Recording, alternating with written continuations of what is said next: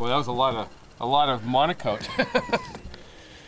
Did a nice job, nice and tight still after all these years. Yeah. It's the original MonoKote too, except for uh, a few little patches here and there.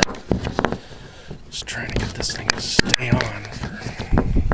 See, I remember my first plane. It was an Eaglet 50, and uh,